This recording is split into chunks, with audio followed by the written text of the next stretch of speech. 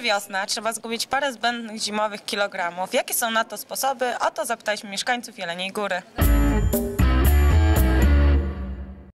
Więcej ruchu, mniej jedzenia. No i tyle. Była zima i na, zbieraliśmy sobie troszkę kilogramów. Jakie masz sposoby na się Ej, ja się nigdy nie odchudzam ani nic. Trzeba mniej żreć i się więcej ruszać. A masz może jakieś sposoby na to? Swoje? Biegam. Często, codziennie? Dwa razy w tygodniu, dwa, trzy razy w tygodniu. A jakaś siłownia? No teraz mam zamiar kupić karnet. Na razie jeszcze się nie zdecydowałam, ale myślę o tym.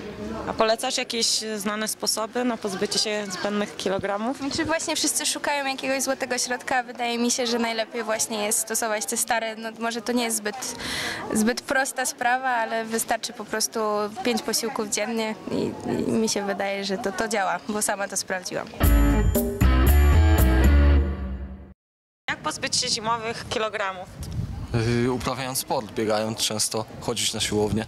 A ty uczęszczasz na siłownię, czy tam biegasz? Znaczy, no ja gram w piłkę akurat dlatego i sobie ćwiczę w domu. W A taki pol- sposób właśnie yy, pozbyłam się tych kilogramów zimowych, które nabyło się właśnie w, okresie tej przerwy, gdzie nie można uprawiać sportu yy, bardziej wyczynowo.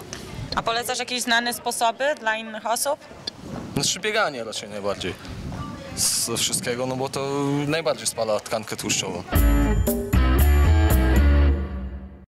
Biegać, ruszać Biegać. się i jeździć na rowerze. Dużo. Jakieś siłownie? Niekoniecznie można w domu. Myślę, że jak się jest aktywnym, to dużo zmienia i że nie trzeba wcale specjalnie chodzić na siłownię. Jak sobie prowadzi aktywne i zdrowe tryb życia, to no, to wszystko załatwia, tak. Mi się wydaje. A macie jakieś znane sposoby, żeby polecić innym? Tak, fitness e, odpalamy na komputerze, na telewizorze i ćwiczymy w Jakieś domu. dodatkowe zajęcia dla kobiet myślę, że są fajne. y, Aerobik.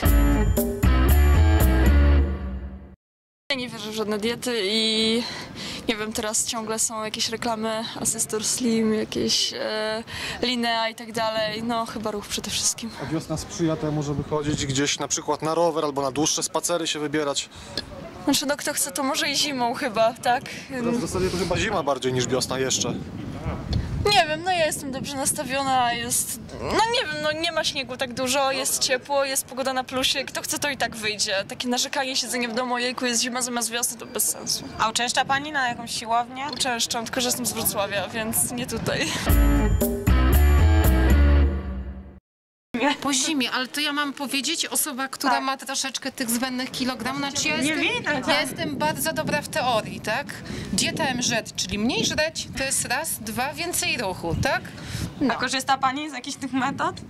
Eee, z tej pierwszej MZ staram się, a z tej drugiej, no teoretycznie póki co, ale no i oczywiście jak się spala kalorie, prawda, mniej dostarczać kalorii, no kobieto, młoda jesteś, to wiesz co należy robić, więcej seksu, tak? No to przede wszystkim. No. Coś jeszcze? Wytniecie? Jak pozbyć się zbędnych kilogramów po zimie? Właśnie, my się nie musimy Ale może jakieś sposoby dla innych chce się przekazać? uprawiać sport. Jaćka to jeszcze można. Jak my się pozbyć? O, nieregularne odżywianie się. Czyli rozstroić swój żołądek. Ja tak jak ja to zrobiłam w wakacje. Rozstroiłam żołądek, nie jadłam regularnie i teraz nie mogę już powrócić, nie mogę już teraz nabyć tych kilogramów i przytyć. A jakaś siłownia, bieganie? Też bardzo przydatna, ale ja nie uprawiam, bo nie muszę.